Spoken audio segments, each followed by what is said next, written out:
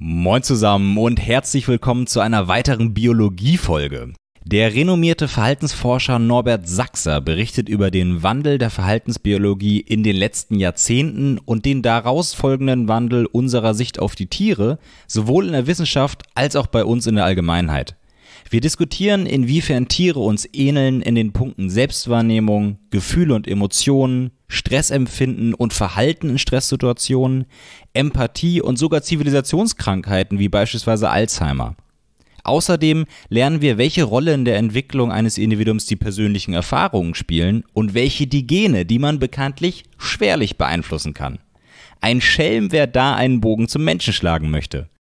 Ich muss ja gestehen, dass ich selbst vor allem wieder fasziniert bin von den ausgefallenen Versuchsaufbauten, mit denen die Verhaltensbiologen aufwarten, um Intelligenz und Gefühlswelt der Tiere reliabel und valide messen zu können. Wer mehr zu dem Thema lernen möchte, dem lege ich Professor Sachsers Buch Der Mensch im Tier ans Herz, das völlig zu Recht ein Spiegel-Bestseller geworden ist. Jetzt aber erst einmal ganz viel Spaß mit dieser Folge.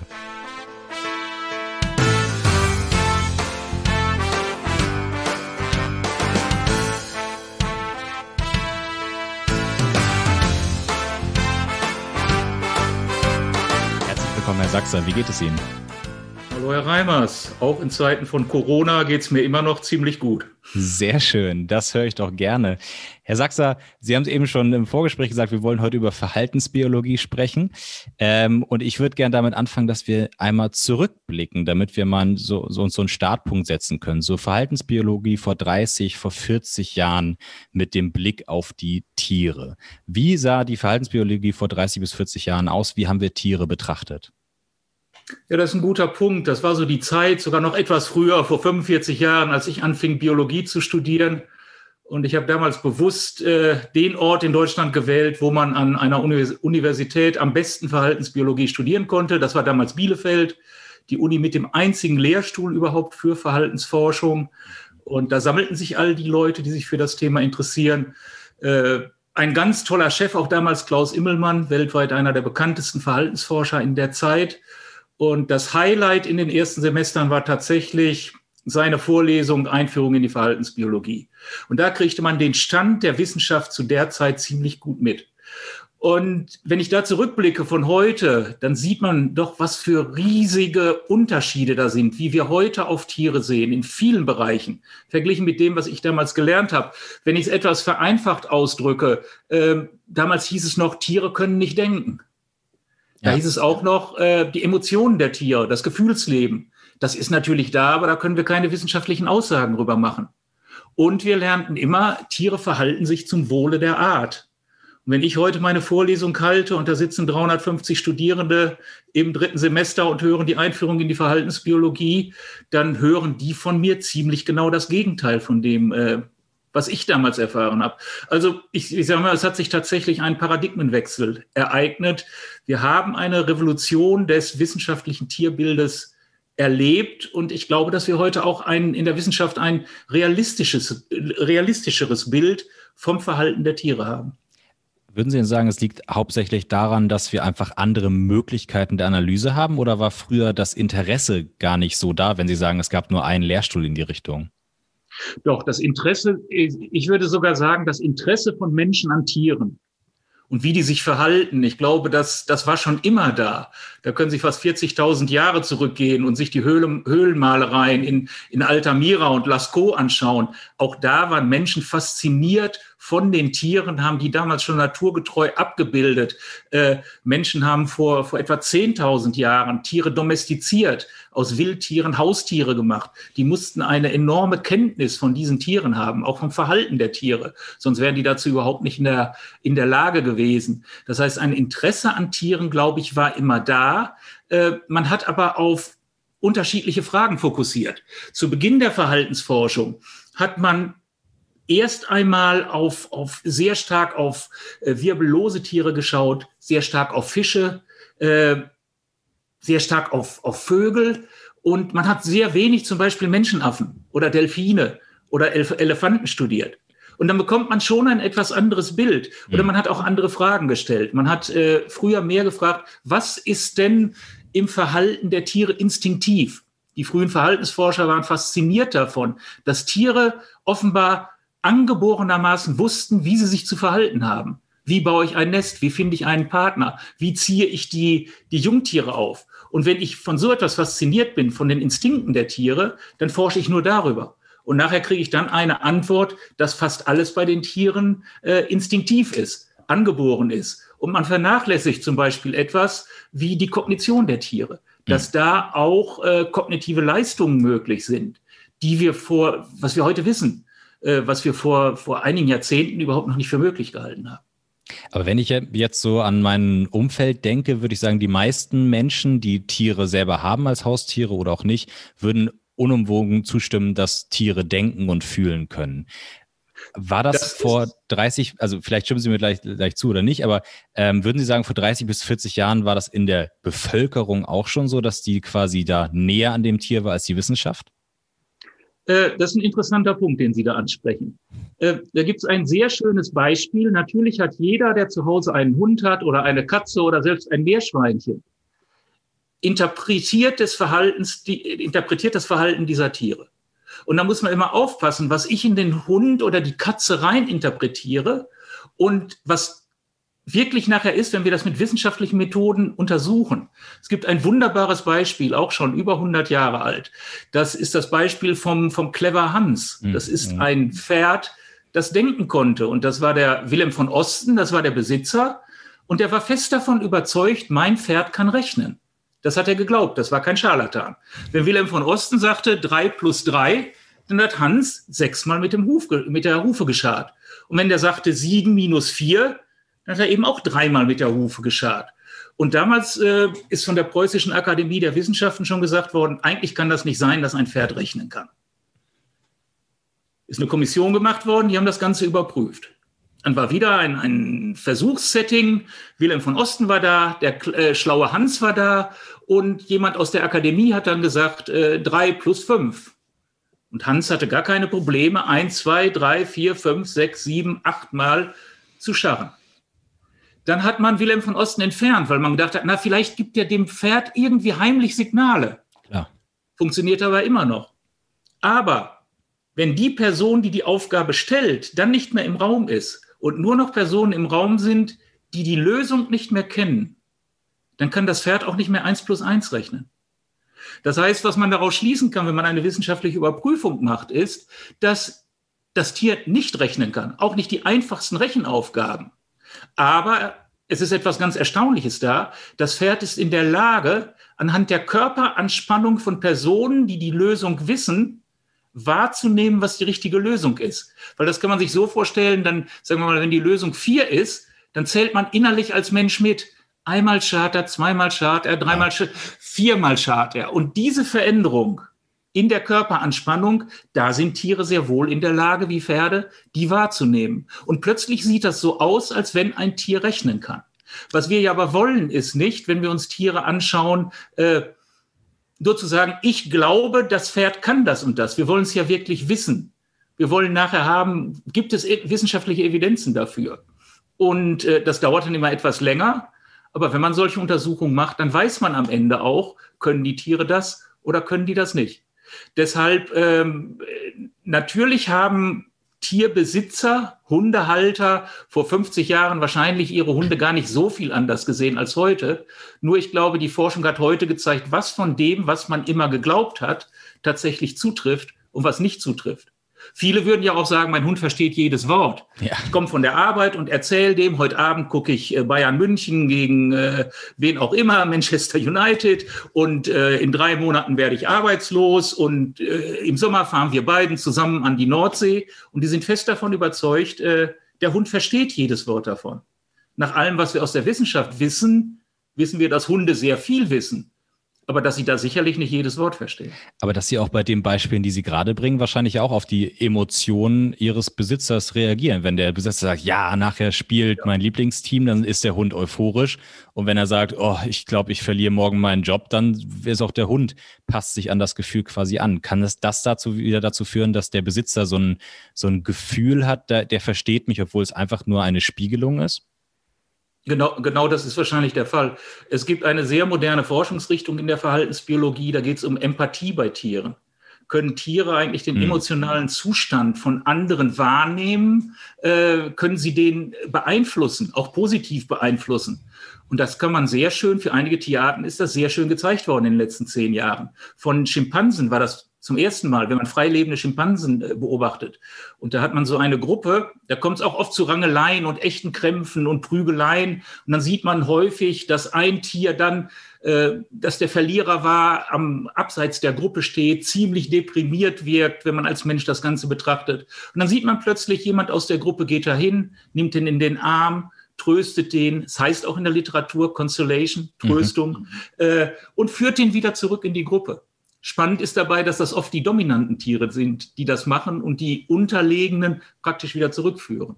Und da hat man auch gefragt, äh, welche Tiere sind dazu in der Lage? Und nach dem heutigen Stand des Wissens können das die, die Schimpansen, es machen die Gorillas, es machen auch Elefanten, es machen Delfine, es ist für Wölfe gezeigt worden und jeder Hundebesitzer kann das bestätigen, das kann der Hund auch der Hund nimmt schon den emotionalen Zustand der Besitzerin oder des Besitzers wahr. Und wenn diese traurig sind, kommt der Hund schon und macht ein Verhalten, das als Trösten äh, bezeichnet werden kann und das ja tatsächlich auch den emotionalen Zustand des Menschen dann durchaus aufhellen kann. Da kennt man mittlerweile sogar die, die hormonellen Grundlagen, die da, die da reinspielen. Ähm, über das Verhalten des Hundes wird zum Beispiel beim Menschen Oxytocin, populär bekannt als das Hormon der Liebe, ausgeschüttet, das dann wiederum zur Stimmungsaufhellung äh, beiträgt. Was ja auch wahrscheinlich einer der Gründe ist, warum es immer mehr so Delfintherapien, Pferdetherapien und ähnliches gibt, wo man im Kontakt mit den Tieren ist. Hängt das damit zusammen? Das ist auch ein guter Punkt, den Sie da ansprechen. Ähm, das ist richtig, wahrscheinlich hängt das damit zusammen. Nur es wird als erstes bei tiergestützter Therapie immer sofort der Delfin genannt. Ja. Ich bin mal vor äh, mittlerweile schon 25 Jahren gefragt worden, ob ich nicht eine Doktorarbeit betreuen würde in Spanien, wo eine solche Therapie mit Delfinen gemacht würde. Und meine Antwort war damals dieselbe, die ich heute auch noch geben würde. Äh, da brauchen wir nicht unbedingt Delfine für. Wenn wir einen Hund haben und haben Wasser mhm. und diese beiden Elemente kommen zusammen, dann klappt die Therapie äh, genauso gut. Es muss nicht immer völlig exotisch sein um, äh, das klingt natürlich spektakulärer. Ich mache die, die Therapie mit den Delfinen. Man muss da auch manchmal überlegen, ist das gerechtfertigt, das wirklich mit Delfinen zu machen? Es, nach allem, was wir heute wissen, geht das mit Hunden genauso gut oder mit Pferden. Finde ich auch einen wichtigen Aber der Punkt. Mechanismus ist genau der, den Sie eben äh, angesprochen haben. Finde ich auch einen wichtigen Punkt, was Sie da gerade sagen. Ich hatte Fabian Ritter von der Whale and Dolphin Conservation äh, zu Gast und der hat halt auch gesagt, dass möglicherweise funktioniert das mit den Delfinen vielleicht besser als mit anderen Tieren möglicherweise, aber macht es nicht, weil es ist einfach unnötig, weil wir andere Tiere haben, die, bei denen das weniger invasiv ist. Ähm, trotzdem nochmal, Sie haben schon gesagt, Sie würden sagen, die Hundebesitzer vor 40, 50 Jahren hatten vielleicht schon ähnliches Verständnis ihrer Tiere, wie sie es heute haben. In der Wissenschaft hat sich das Verständnis gewandelt. Würden Sie denn sagen, dass die Allgemeinheit heute auch anders auf Tiere guckt? Ja, ganz sicher. Und ich sehe da eine ziemliche Parallelität. Also wir haben ja zu Beginn des Gespräches gesagt, was, was war der Stand vor äh, 30, 40 Jahren oder auch 50 Jahren? Da hat man eben gesagt, äh, Tiere können nicht denken. Mhm. Oder heute haben wir ja sogar Hinweise, dass bei manchen Tieren sowas wie Ansätze von Ich-Bewusstsein da ist. Äh, wenn, wenn wir Schimpansen nehmen oder andere Menschenaffen, wenn wir Delfine nehmen, wenn wir Elefanten nehmen oder selbst wenn wir Rabenvögel nehmen da gibt es sehr viel Hinweise, die erkennen sich alle im Spiegel, wenn die da reingucken. Die können sich in andere hineinversetzen, in Artgenossen und die Welt aus deren Sicht beurteilen und das in ihr Verhalten integrieren. Das kann kein dreijähriges Kind, das muss man sich klar machen. Kein einjähriges Kind, wenn das in den Spiegel schaut, weiß, dass es das selber ist. Das kommt erst mit etwa anderthalb Jahren. Die Arten, die ich gerade genannt habe, die sind dazu alles in der Lage. Das heißt, bei Tieren können wir zeigen, dass da kognitive Fähigkeiten sind, die zum Teil über das hinausgehen, was wir von drei, vierjährigen äh, Kindern kennen. Das heißt, da hat sich schon sehr viel in unserer Sichtweise verändert. Und bei den Emotionen, natürlich hätte auch keiner bezweifelt, dass Tiere Emotionen haben. Aber können wir gleich vielleicht noch überreden, was wissen wir denn wirklich genau darüber? Äh, wir können ja nicht mal beim Menschen angeben, wie viele Emotionen wir haben. 25 oder 27 oder sind alles Mischemotionen oder gibt es nur ein paar basale Emotionen? Äh, und deswegen hieß es ja lange nicht, Tiere haben keine Emotionen, sondern wir können keine wissenschaftlichen Aussagen zu den Emotionen der Tiere machen. Und mhm. das hat sich verändert, wo wir heute aufgrund der Forschung ziemlich genau wissen, die basalen Emotionen wie Furcht, Angst, aber auch Freude, die sind bei den Tieren offenbar, bei den, nicht bei allen Tieren, aber wenn wir jetzt über Säugetiere sprechen, zu denen wir biologisch als Mensch ja auch gehören, die sind offenbar in gleicher Art und Weise vorhanden und die Prozesse oder die Gehirnstrukturen, in denen diese Emotionen erzeugt worden, werden, das sind dieselben, die wir bei den Tieren auch finden. Und selbst die zellulären Prozesse, die molekularen Prozesse, die wir beim Menschen kennen, die die Emotionen generieren, sind auch offenbar ziemlich identisch äh, bei einer Maus, bei einem Nashorn, bei einem Affen, bei einem Meerschweinchen. Und das hat eben dieses Bild verändert, dass wir sagen, äh, wir sehen die Tiere heute anders. Wir können da andere Aussagen drüber machen. Und ja, jetzt habe ich irgendwie Ihre Frage in eine andere Richtung. Alles gut, hat die Frage beantwortet. Ich würde auch sagen, das Ganze, was Sie da angesprochen haben, kommen wir gleich drauf zurück. Man könnte es nämlich unter der Überschrift zusammenfassen, der Mensch im Tier ist nämlich genau der Titel Ihres wundervollen Buches, das Sie rausgebracht haben. Vorweg, was war Ihre Intention bei dem Buch? Was war das Ziel, das Sie mit diesem Buch erreichen wollten? Genau. Bevor ich das beantworte, Sie hatten eben gerade gefragt, jetzt fällt es mir nämlich wieder ein, kann man das auch, diese wissenschaftliche Erkenntnis, spiegelt sich die auch im Bild in der Gesellschaft wieder Korrekt. von Tieren. Und da, äh, das kann man immer an einem wunderbaren Beispiel klar machen, dass sich das tatsächlich widerspiegelt. Wenn man uns, als ich studiert habe, Biologie im ersten Semester, wenn man mhm. uns gesagt hätte, pass mal auf, hier sind drei Tiere, ein Goldfisch, ein Schimpanse, ein Mensch, mach mal schnell zwei Kategorien, dann hätten 90 Prozent von uns damals gesagt, der Goldfisch und der Schimpanse gehören in eine Kategorie, weil das sind Tiere und das andere ist der Mensch. Ich mache genau das seit etwa zehn Jahren mit Erstsemestern in der Biologie mhm. und stelle genau diese Frage hier, Goldfisch, Schimpanse, Mensch, macht mal zwei Kategorien und heute findet man sowas wie 60 bis 70 Prozent der Studierenden sagen, der Mensch und der Schimpanse gehören in eine Kategorie. Da bin ich schon überrascht, dass es nur 60 Prozent sind. Nein, das überrascht mich nicht. Es sind schon Biologiestudierende, die kennen Tiere sehr gut und wir können auch lange darüber reden, ob es nicht doch noch Unterschiede zwischen Menschen und Tieren gibt. Aber was das Ganze zeigt, was ich sage, ist, dass sich doch innerhalb weniger Jahrzehnte äh, das Bild vom Tier auch in der Gesellschaft völlig verändert hat. Und eine meiner Thesen ist, das hat natürlich auch damit zu tun, dass die Wissenschaft sich bestimmter Themen angenommen hat, die die Gesellschaft brennend interessiert und darauf mittlerweile wissenschaftlich basierte Antworten geben kann. Und das hat schon damit dazu beigetragen, äh, dass wir ein anderes Bild vom Tier heute haben. Mhm. Womit Sie Gut. auch meine zweite Frage eigentlich schon, schon indirekt beantwortet haben, was die Intention war, dass Sie wahrscheinlich genau diesen Prozess aufzeigen wollten. Die Intention war, waren im Grunde zwei Dinge. Irgendwann ist mir tatsächlich mal äh, bewusst geworden, dass das, was ich in meiner Vorlesung vertrete, was heute Stand der Wissenschaft ist äh, in, in, der Verhaltensbiologie, was wir über Tiere wissen, dass das doch sehr verschieden von dem ist, was ich mal vor einigen Jahrzehnten gelernt habe. Und das Zweite ist, dass ich auch, je älter ich geworden bin, immer mehr gesehen habe, wie wichtig Wissenschaftskommunikation ist. Das geht einher mit diesem Trend natürlich auch an den Unis. Wenn man früher gefragt hat, was ist die Aufgabe der Unis, dann ist gesagt worden, Forschung und Lehre, war völlig klar. Und heute reden wir von der Third Mission. Es ist Forschung und Lehre und Wissenstransfer. Und das mhm. ist eine sehr, sehr gute Entwicklung, denn das Wissen, was wir generieren, äh, da sollten wir auch alles tun, dass das in die Gesellschaft transferiert wird. Und äh, deswegen mache ich jetzt zum Beispiel bei diesem Podcast mit Ihnen, bei Ihnen auch mit. Man erreicht völlig andere äh, Gesellschaftsschichten und an, ganz andere Personengruppen. Und das war eine der, der, das war einer der Gründe, warum ich mir überlegt habe, ja, schreib doch mal in einem Buch, wo alles richtig ist, wissenschaftlich stimmt, das gleichzeitig verständlich ist, äh, schreib das doch mal zusammen denn damit kannst du wahrscheinlich sehr viel auch für, das, äh, für eine Veränderung des Mensch-Tier-Verhältnisses tun.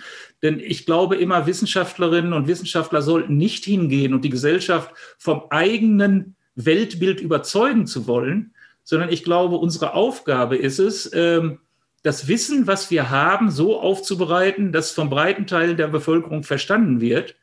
Und dann kann nämlich ein demokratischer Prozess losgehen, wo man darüber diskutiert, aufgrund dieser Daten, aufgrund dieser wissenschaftlichen Kenntnis, äh, welche Entscheidungen wollen wir in unserer Gesellschaft treffen. Zum Beispiel, wie wollen wir mit den äh, Tieren umgehen. Das war einer, die Hauptmotivation, dieses Buch zu schreiben dass sich das dann natürlich so toll entwickelt hat und gleich nach zwei Wochen auf der Spiegel-Bestsellerliste war, umso besser. Dann wird man natürlich auch zu Markus Lanz eingeladen und dann hören einem gleich eine Million Leute zu äh, und man kann die Botschaft noch äh, ganz anders verbreiten. Es war übrigens auch schon eine, eine, Erfahrung, die ich auch in meiner sehr frühen Assistentenzeit gemacht habe. Äh, wenn immer man mal mit, mit äh, Reportern aus der, von, von der Zeitung gesprochen hat und es erschien irgendwo, dann sprachen einen tausend Leute an, sag mal, was hast du denn Tolles da rausgekriegt?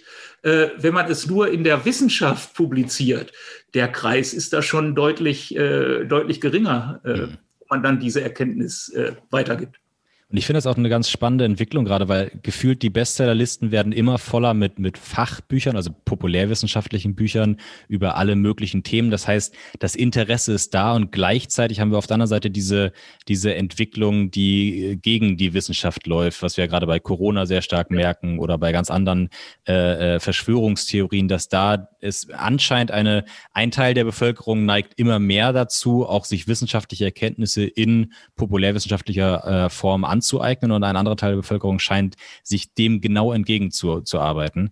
Ähm, merken Sie das bei sich in der Forschung teilweise auch, dass da äh, Bürger, die nicht äh, in der Wissenschaft involviert sind, ihre Erkenntnisse sehen und sagen, nein, das kann nicht sein, das ist Quatsch? Das gibt es natürlich immer es, es gibt immer Leute, die von Anfang an sagen, ich weiß alles und was ihr da macht, Wissenschaft interessiert mich nicht und äh, dann ist keine Gesprächsbereitschaft da und da muss man auch nicht, also ich zumindest nicht, nicht zu viel in, äh, investieren, um auch den allerletzten noch von irgendwas überzeugen zu wollen. Mhm. Aber meine, meine generelle Sichtweise darauf ist schon, dass äh, doch, dass die breite Masse höchst interessiert ist an dem, was man zu sagen hat. Mir ist das äh, zum Beispiel sehr aufgefallen. Ich hatte eine Einladung zu einem Vortrag äh, bei den Zuchtverantwortlichen für das deutsche Hundewesen. Mhm. Da habe ich auch gedacht, äh, das ist ein Verband, der hat mehrere hunderttausend Mitglieder und äh, da treffen sich einmal im Jahr die Zuchtverantwortlichen. Das sind über 100 Leute.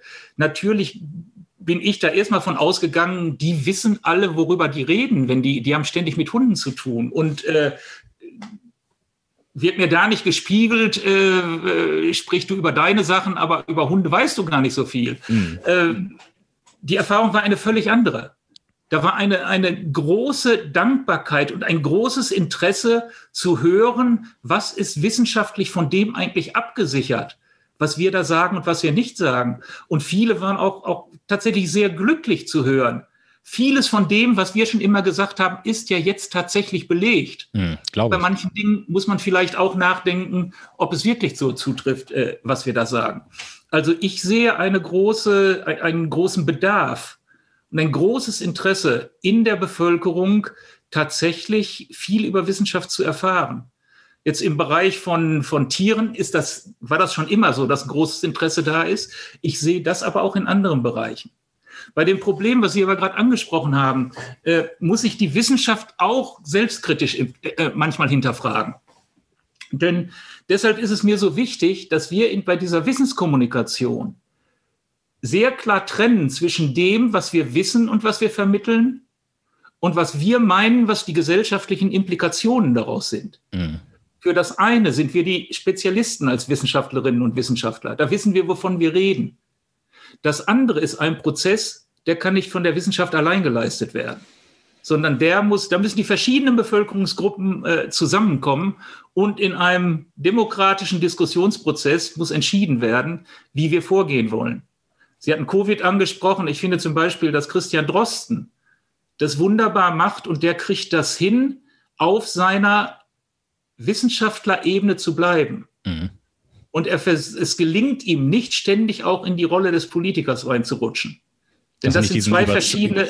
Diesen überzeugenden missionarischen Ton quasi dann nicht hat. Ja. Es gibt andere, ich will jetzt keine Namen nennen, die kann man auch in Talkshows erleben, äh, die, die ständig diese Vermischung machen. Ja. die als Virologen oder auftreten und gleichzeitig eher politische Botschaften haben. Äh, ich glaube, man muss da klar unterscheiden. Und wenn es um Tiere geht, sehe ich es genauso. Äh, auch mit meinem Buch, ich versuche zu vermitteln, was wissen wir heute? Das ist Stand der Dinge. Man kann auch in der Wissenschaft oft sagen, das wissen wir zum Beispiel im Moment noch nicht. Wir wissen zum Beispiel sehr wenig über Emotionen bei Insekten, bei wirbellosen Tieren. Wird jetzt viel geforscht. Vielleicht sehen wir die Welt in zehn Jahren da auch völlig anders. Also es gibt immer offene Fragen, wenn wir Wissenschaft machen. Äh, Wissenschaftlerinnen und Wissenschaftler sollten aber, wenn sie in die Wissenschaftskommunikation reingehen, versuchen, verständlich das rüberzubringen, was ist Stand des Wissens und dann auch mitzuhelfen, dass ein, ein Diskurs in der Gesellschaft zu den wichtigen äh, Fragen aufgrund dieser Daten dann stattfinden kann. Wundervoll, dann würde ich doch sagen, wir kommen zu den ersten Erkenntnissen mal, äh, nachdem wir jetzt gesehen haben, wo stehen wir denn? Äh, Sie haben schon ein wichtiges Thema angesprochen, Selbstwahrnehmung. Sie haben vorhin schon eine ganze Reihe an Tieren aufgezählt, die eine gewisse Selbstwahrnehmung oder eine Selbsterkenntnis äh, haben. Sie haben den Spiegeltest angesprochen. Sie haben aber auch gesagt, dass es aus ganz verschiedenen Tierklassen, äh, wenn man das als Laie so richtig formuliert, äh, äh, gibt. Also es gibt Säugetiere, die selbst erkennen. Sie haben Raben angesprochen. Ähm, und äh, wenn ich mich nicht irre, glaube ich auch äh, Oktopoden, die sich, glaube ich, auch selber wieder erkennen. Das heißt, ähm, gibt es pauschal würde der Laie sagen, Säugetiere sind die intelligentesten, intelligentesten Tiere. Würden Sie dieser These zustimmen? Das kann man so pauschal nicht, sicher nicht sagen. Wir müssen gerade mal sagen, wenn wir hier jetzt den, den Intelligenzbegriff nehmen, mm. dann reden wir hier jetzt darüber, wir nehmen die, deswegen habe ich mein Buch auch der Mensch im Tier genannt, mhm. dass ich gesagt habe, wir gucken, was wir halten wir für typisch menschlich und was halten wir für unsere höchsten Errungenschaften und stelle mal die Frage, ob es das nicht auch schon bei vielen Tieren gibt. Oder suche mal danach, bei welchen Tieren gibt es das denn vielleicht auch. Mhm. Natürlich sind alle Tiere, das muss man als, als Biologe und Biologin als allererstes sagen, alle Tiere, die hier leben, die sind wunderbar an ihren Lebensraum angepasst. Und manche brauchen dafür kognitive Fähigkeiten. Andere greifen fast ausschließlich auf ihre Instinkte zurück. Und ein Regenwurm ist ja nicht schlechter angepasst an seinen Lebensraum als ein Schimpanse an seinen. Und bei einer äh, Veränderung der Umwelt wird wahrscheinlich der Schimpanse eher aussterben als der Regenwurm. Und äh, man könnte den Intelligenzbegriff auch noch völlig anders definieren und sagen, vielleicht ist ja der der Intelligenteste, der am längsten überlebt und auch mit Umweltveränderungen noch klarkommt. Also, wenn wir, hier, wenn wir hier gut, äh, wenn wir hierüber reden, dann reden wir darüber, äh, wir nehmen einen Intelligenzbegriff, den wir vom Menschen kennen und fragen, gibt es so etwas bei den Tieren auch schon? Mhm. Äh, auch da historisch ist, ist ganz spannend, diese Frage, können Tiere denken? Wo ich noch gelernt habe, eigentlich nein. Im Prinzip ist vor ziemlich genau 100 Jahren, 1921, eine Publikation erschienen von Wolfgang Köhler mit Schimpansen und auch ein Film damals gedreht. Ist der erste filmische Nachweis, den man heute noch anschauen kann über Denkleistungen bei Tieren, äh, wo er eine Kolonie von Schimpansen auf, auf den Kanarischen Inseln, auf Teneriffa untersucht hat. Und das ist dieses berühmte Experiment, wo er in dem ein großes Gehege und er hängt eine Banane unter, äh, an, an, an die Decke des Geheges und die meisten Affen versuchen dahin zu springen, das ist aber so hoch, sie kommen da nicht ran. Und da ist ein besonders intelligenter Schimpanse, der Sultan, der sitzt da, wenn man den betrachtet in dem Film, der sieht auch so aus, als wenn er denkt. Äh, und dann holt er sich zwei Rohre, steckt die ineinander damit er einen langen Stab hat. Und dann nimmt er eine große Kiste, packt die dahin, packt eine kleine Kiste da drauf, packt eine noch kleinere oben drauf. Dann steigt er auf die oberste Kiste, nimmt seinen langen Stab und angelt sich die Banane. Da sieht man, dass das etwas ist, wo ein, ein, ein, ein Tier nicht über Versuch und Irrtum irgendwo ähm, für eine Lösung findet für ein Problem, sondern offenbar im Voraus den Lösungsweg vollzieht und da, ihn dann in die Tat umsetzt. Wissenschaftshistorisch ist absolut spannend, dass dann ungefähr 50 Jahre diese Erkenntnis überhaupt keinen Eingang in die, in die Lehrbücher gefunden hat, sondern dann dominierten die amerikanischen Behavioristen, die sehr stark abgelehnt haben. So etwas wie Denken gibt es nicht, innere Zustände gibt es nicht. Alles, was wir haben, ist klassische und operante Konditionierung was viele Hundebesitzer zum Beispiel von ihrem Klickertraining kennen. Das sind auch äh, mhm. Konditionierung, Vorgänge. Äh, damit kann man einem Tier fast alles beibringen.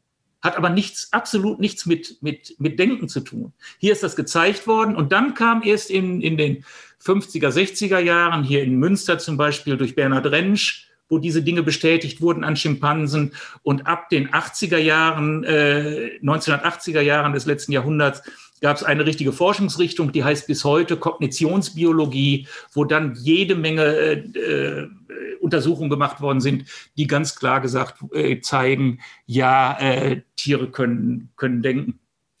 Wenn wir nochmal beim Thema Selbstwahrnehmung als, als Aspekt genau. von Intelligenz sind. Da war, da war die Frage, da konnte man sehen, Tiere können denken. Die nächste Frage war dann, gut, dass Tiere denken können, war vor 30 Jahren dann durch in der Verhaltensbiologie. Sehr gut. Dann kam bis das wieder in die Bevölkerung kam oder zum Beispiel bis das in der Philosophie angekommen war, waren es nochmal 10, 15, 20 Jahre. Also innerhalb der Wissenschaft hat der Transfer innerhalb schon so lange gedauert. In andere Wissenschaftsdisziplinen. Mm. Es ist immer noch sehr lange, habe ich in Vorträgen gehört von Philosophen, äh, Menschen können denken, Tiere können das nicht. Schon zu einer Zeit, als es innerhalb der Verhaltensbiologie das Thema eigentlich durch war und alle sagten, gut, da haben wir die sauberen Experimente, äh, viele Tiere können das. Und dann kam aber die Frage, könnte es nicht sogar sein, dass es so etwas wie Ich-Bewusstsein gibt? Mhm. Dass, dass ein Tier weiß, wer es ist, dass es sich vielleicht sogar in andere hineinversetzen kann, aus der Sicht von anderen die Welt sieht und danach sein Verhalten ausrichten kann? Da hätten auch viele oder haben ja viele aufgeschrien in der Zeit, haben gesagt, nein, das der aber nun wirklich nicht. Das kann ja nicht mal ein drei-, vierjähriges Kind. Äh, das ist nun wirklich typisch menschlich. Gut, wir können nicht ein einziges Experiment machen, damit zeigen wir, Tiere können das. Klar. Aber man kann sagen, wenn Tiere ein Ich-Bewusstsein haben, so wie ich es eben definiert habe, dann sollten sie sich zum Beispiel im Spiegel erkennen können. Mhm. Und dann sollten sie in der Lage sein, sich in andere hineinversetzen zu können.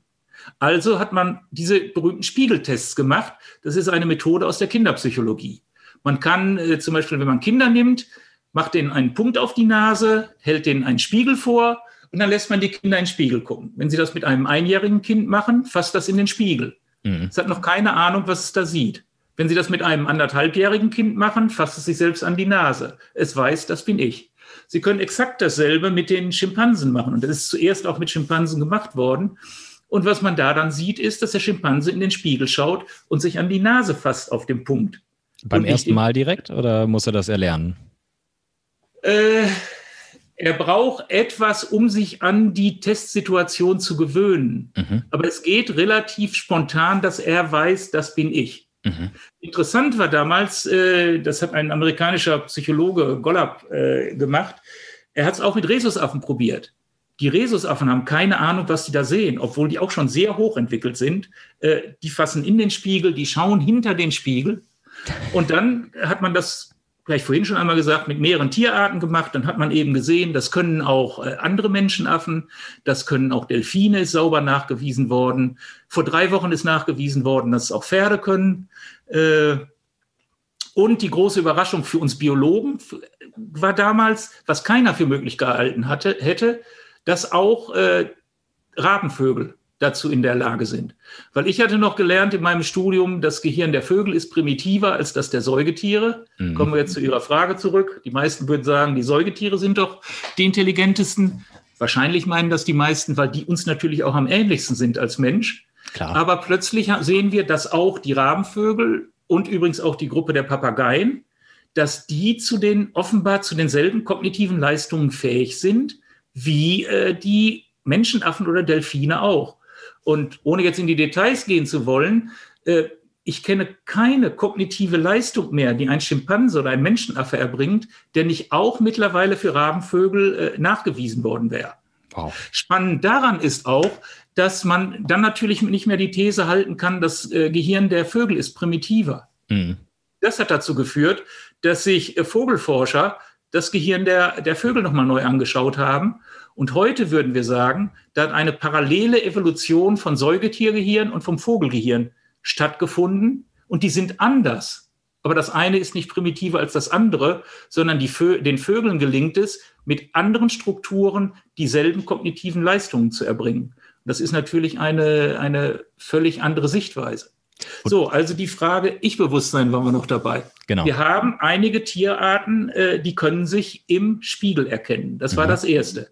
Es gibt aber auch viele, viele, die meisten aller Tiere können das sicherlich nicht. Aber wir mhm. haben ein paar. Und es sind nicht nur die, die biologisch dem Menschen am nächsten sind, sondern auch zum Beispiel Rabenvögel. Für Papageien würde ich es auch erwarten, wenn man, wenn man die jetzt äh, sauber testen würde.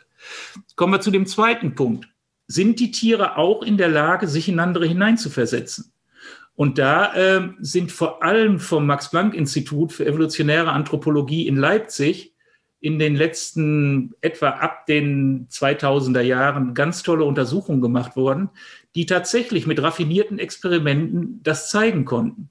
Man hatte zum Beispiel zwei äh, Schimpansen. Der eine ist in einem rechten Gehege, der eine in einem linken Gehege. Mhm. Die kennen sich beide. Der eine ist dominant, der andere ist unterlegen. Die sind aber jetzt in zwei verschiedenen Gehegen und sehen sich, aber können nicht zueinander. Mhm. In der Mitte ist ein Raum dazwischen, zwischen diesen beiden Gehegen, und da befinden sich zwei Sichtblenden. Jetzt kommt ein, ein Versuchsleiter oder eine Versuchsleiterin, nimmt ein Leckerchen, was die gerne fressen würden, und versteckt es hinter der ersten Sichtblende. Der Dominante schaut zu, der Unterlegene schaut zu. Jetzt macht man die Türen auf.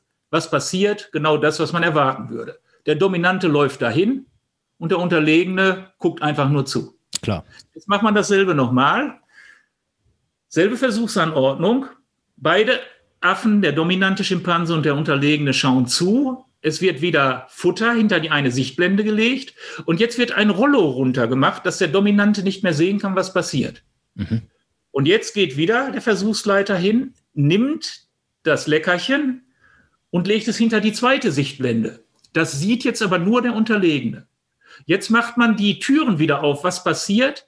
Ohne zu zögern läuft der Unterlegene sofort zum Fressen hin und kriegt das. Und der Dominante läuft dahin, wo er das letzte Mal das Fressen gesehen hat, wo es sich jetzt aber nicht mehr befindet. Jetzt muss man noch ein paar Kontrollversuche machen. Aber die einzige Interpretation, die bleibt, ist, der Unterlegene kann sich nur so verhalten, weil er weiß, was der Dominante weiß und richtet danach sein Verhalten aus.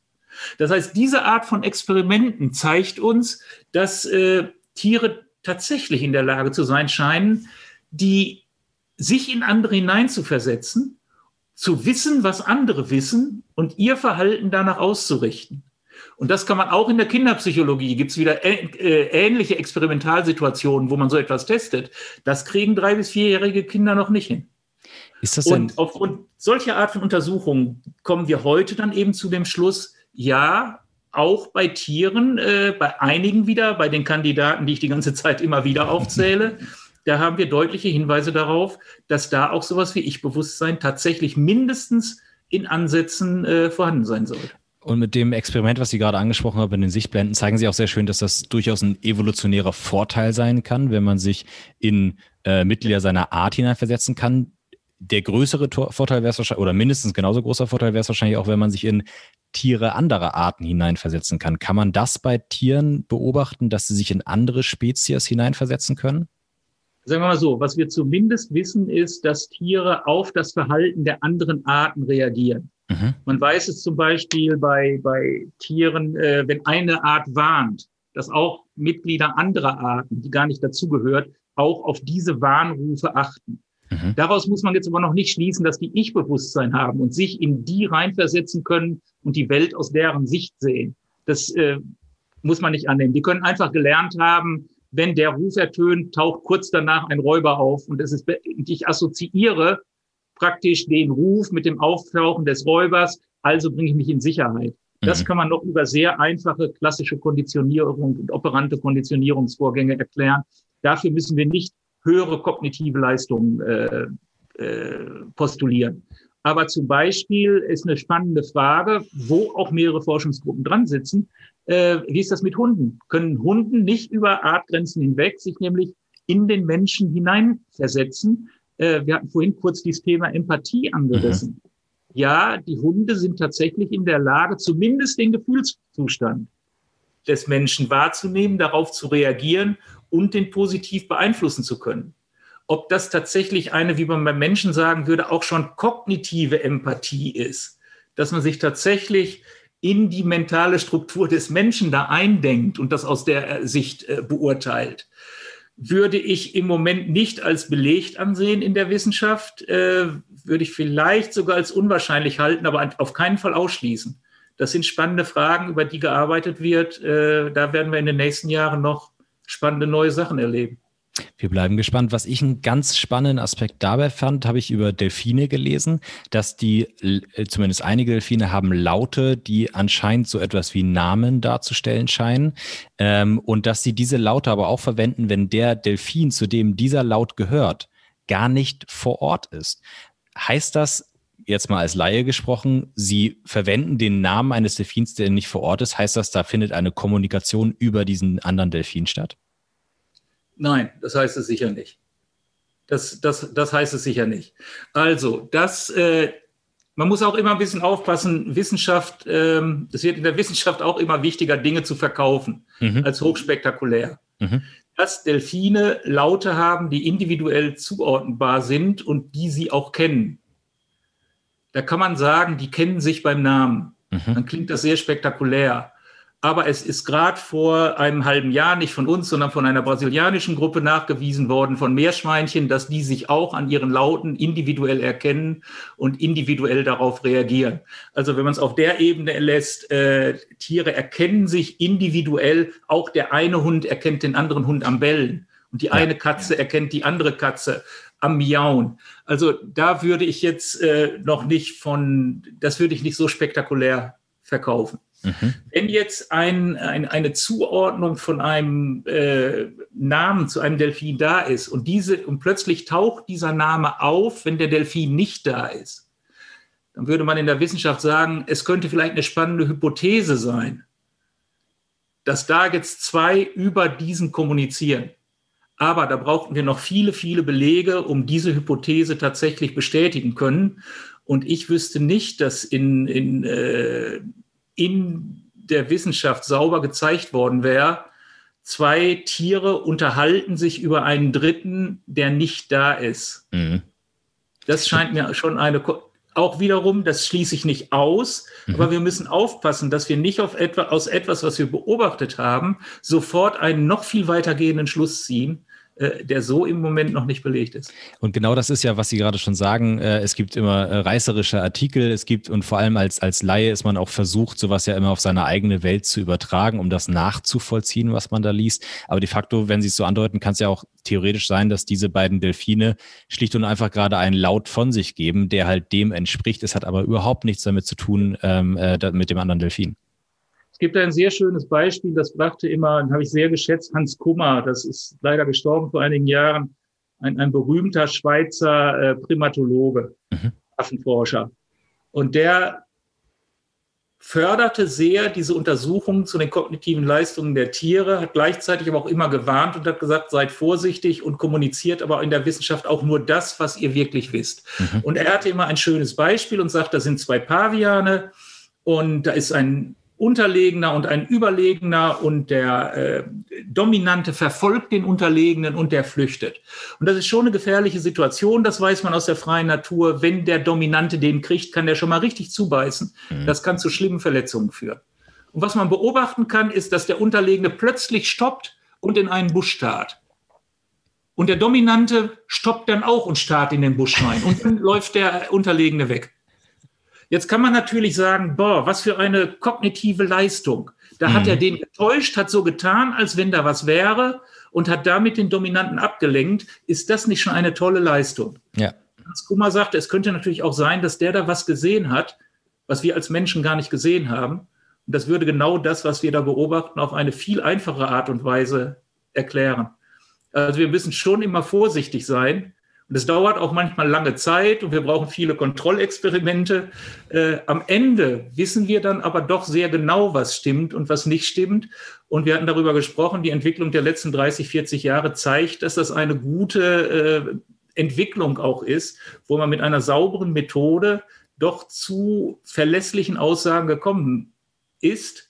Ähm, ob nicht Tiere vielleicht doch irgendwelche sich darüber unterhalten, wie das Wetter gestern war. Äh, ich würde es nicht erwarten im Moment, aber lassen wir uns überraschen, was die nächsten Jahre noch bringen. Sehr gut. Würden Sie denn sagen, es ist äh, die, zum aktuellen Stand der Wissenschaft kann man sagen, dass tendenziell soziale Tiere eine höhere Intelligenz aufweisen, so wie wir Intelligenz gerade definiert haben? Äh, ja, ist auch ein schwieriger Punkt, heiß diskutiert in der Wissenschaft. Es ist immer die Mehrheit, würde ich fast sagen, hat das immer als Lieblingshypothese. Wir, wir möchten fast immer, dass die, die sozialer sind, doch auch intelligenter sind. Ähm, ein Beispiel, äh, Schimpansen leben in Gruppen, da argumentiert man sehr schnell, die brauchen diese hohen kognitiven Leistungen, müssen sich in andere hineinversetzen, um das alles hinzukriegen. Mhm. Äh, aber auch für den Orang hat man sehr hoch entwickelte kognitive Leistungen nachgewiesen. Und der Orang lebt die meiste Zeit seines Lebens solitär. Der lebt nicht im großen Sozialverband. Und das andere ist, es, es, wird immer argumentiert, bei welchen Tieren sind denn die, die Gehirne am komplexesten, wenn man sich das anschaut. Auch da kommt immer sowas wie, äh, die Primaten haben die größten Gehirne, die größte äh, Großhirnrinde. Und mhm. als erstes ist die Hypothese immer, äh, ja, das liegt an deren komplexeren Sozialverhalten. Es ist nicht ganz schlüssig äh, als Alternativhypothese ist auch immer, dass die ökologischen Bedingungen, dass es auch, dass man sehr viel Intelligenz braucht, um sich zu merken, an welchem Baum wann welche Früchte tragen, wann man wohin wechseln muss. Also auch die zurechtzukommen mit den ökologischen Bedingungen, unter denen man lebt, kann auch ein, ein Selektionsfaktor gewesen sein, der zu diesen höheren kognitiven Leistungen hingeführt hat. Also ich würde mich da im Moment gar nicht auf die eine oder andere Seite schlagen, sondern äh, ich, ich würde eher sagen, diese These, alles das ist vor allem durch das Sozialverhalten äh, beeinflusst, sehe ich nicht ganz so belegt, wie es häufig vertreten wird. Und gerade das, was Sie gesagt haben, das Argument mit den Gehirnen, Sie haben ja schon von den Vogelgehirnen gesprochen. Vielleicht verstehen wir ja einige Gehirne da draußen in der Tierwelt einfach noch gar nicht so, weil sie einfach eine andere Struktur haben, aber möglicherweise auch zu ähm, höheren kognitiven äh, Leistungen in der Lage ist. Das ist richtig und wir müssen auch immer aufpassen, wenn wir nochmal äh, 100 Jahre zurückgehen, da ist auch argumentiert worden, Männer haben das größere Gehirn als Frauen und deswegen sind Männer natürlich intelligenter als Frauen. Also mhm. das war äh, wissenschaftliche Erkenntnis vor, äh, vor 100 Jahren. Dann mussten wir mühsam lernen, dass oder dann, wir selbst haben ja auch viel Domestikationsforschung gemacht. Was passiert, wenn aus einem Wildtier ein Haustier wird? Auch da gibt es eine lange Tradition und eines der Merkmale, wenn wir die Haustiere mit den Wildtieren vergleichen, ist, dass die alle geringere Gehirnmassen haben. Das Gehirn wird kleiner, wenn aus einem Wildtier ein Haustier wird. Und daraus ist viele Jahrzehnte einfach geschlossen worden immer.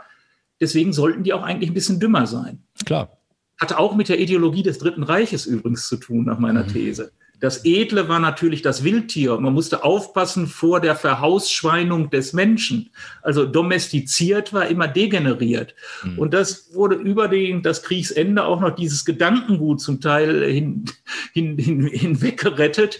Und dann hieß es, naja, die Domestizierten sind natürlich äh, schon etwas dümmer. Die kognitiven Leistungen sind weniger, weil das Gehirn ja kleiner ist.